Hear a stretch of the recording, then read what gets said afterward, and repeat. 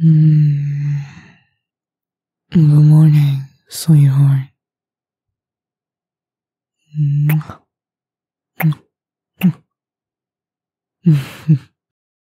You're so cute in the morning. You are. I mean, who else would make such a face? you look a little like a puffer fish.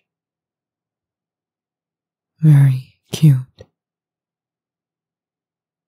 Me? I don't. My face is just puffy because you tried to put that face mask on me the other day. It was kind of weird. Well, it smelled nice, but it was all sticky. Seeing as I have perfect skin, it doesn't really make sense for you to use it on me. Don't get so mad. I'm only pulling your leg.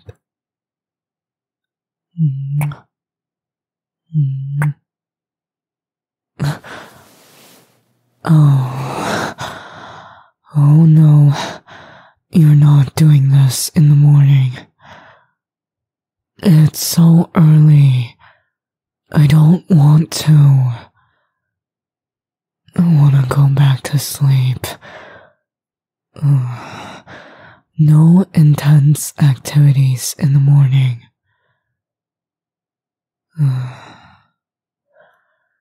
Well, of course, I can't control it. It does its own thing. Besides, you're so cute and pretty, I can't really help it. Yes, it's true.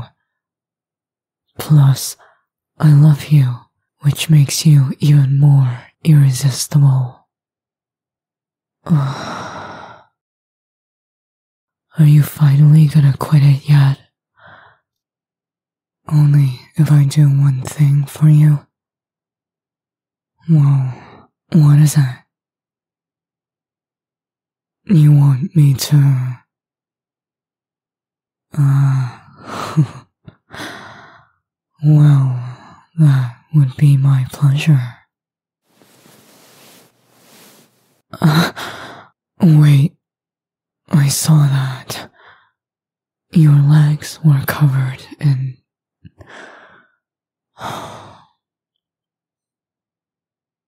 Mm, no. What do you mean you forgot? I don't care if you forgot. You're apologizing for the wrong thing. I'm glad that I saw it, actually. I didn't even know you were feeling that way.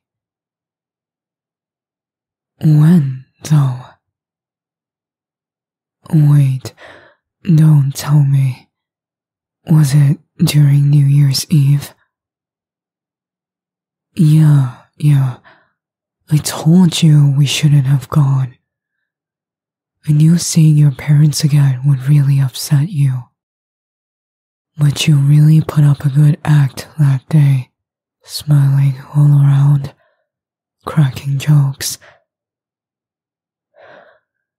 I don't care if it's not deep. You still hurt yourself, and that's not something I ever want to see you do. Come on. Let me check up on you. Yeah, it's healing up alright. Pretty much faded to scars by now. I'm glad they're not too bad, but I'm not glad that it happened. I'm actually really pissed off, to be honest.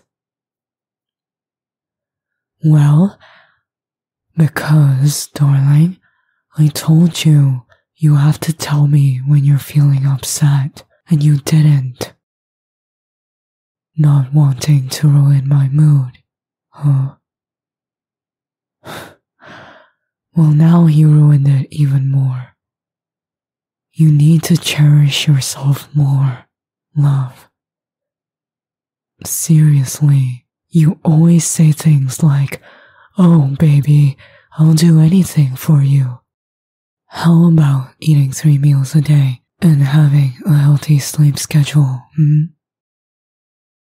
Yeah, I thought you would go quiet. You're hopeless. You're hopeless and I'm mad. When you're filled to the brim with painful emotions, I can help you out. Don't you remember that one time when I caught you almost about to do it and I did something to distract you? Look